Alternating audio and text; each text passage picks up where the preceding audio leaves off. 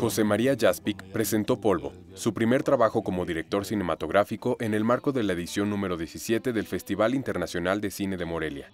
En entrevista con Notimex, Jaspic y Mariana Treviño compartieron detalles de esta historia que transcurre en 1982 en un poblado apartado de Baja California. A partir de un viaje que hicimos mi, papá, mi hermano y yo a, una de las fiestas de San Ignacio, este, pues se, nos reveló ahí el pueblo para, para, hacer algo, ¿no? Este, eh, eh, ahí nació la, idea de, pues de contar una historia en ese pueblo.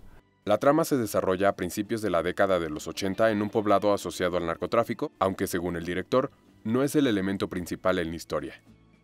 Se recibirá como se reciba. Digo, la verdad es que justo ayer estaba viendo un capítulo de Peaky Blinders y son este, los este, irlandeses en 1930 y ya están de narcotraficantes también. O sea, es, es algo, o sea, estamos sumergidos en eso porque así es.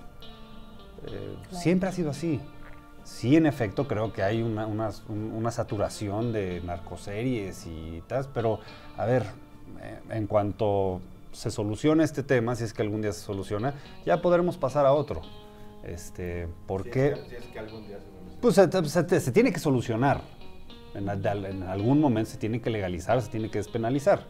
No, no pueden ser tan brutos las personas que están allá arriba que no se den cuenta que eso es lo único este, que nos puede salvar. Mariana Treviño, por su parte, habla de en qué y en quién se inspiró para dar vida a Jacinta, la mujer que el chato deja en el pueblo y a la que éste le promete regresar para hacer una vida juntos. Empezamos a, idear a Jacinta que cómo puede ser. Yo me acuerdo que yo, yo conocí una chava que era pues pues del norte también, cuando llegué a México, que se llamaba Lucila, y tenía una cola de caballo hasta acá, con ese pelo, y me acuerdo que yo la vi y decía, qué linda, porque aunque ella viva aquí, le esté tratando de hacer su cola, su cola de caballo la delata, o sea, eh, la lleva al pueblo de donde es allá, de Sinaloa, no sé dónde era. Y siempre le veía la cola y, ay, me encanta su chongo con las bolitas y todo. Entonces, lo platicábamos con Che, me decíamos, darle un aspecto. Entonces la fuimos creando poco a poco, ¿verdad? O sea, esta cuestión costeña, cómo hacer la costeña, pero también medio recia y serrana, ¿verdad? La relación entre José María Jaspic y el pueblo de San Ignacio es estrecha.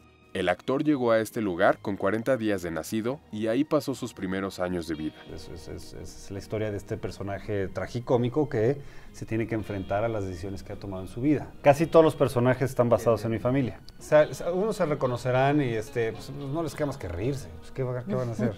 ya no la puedo evitar.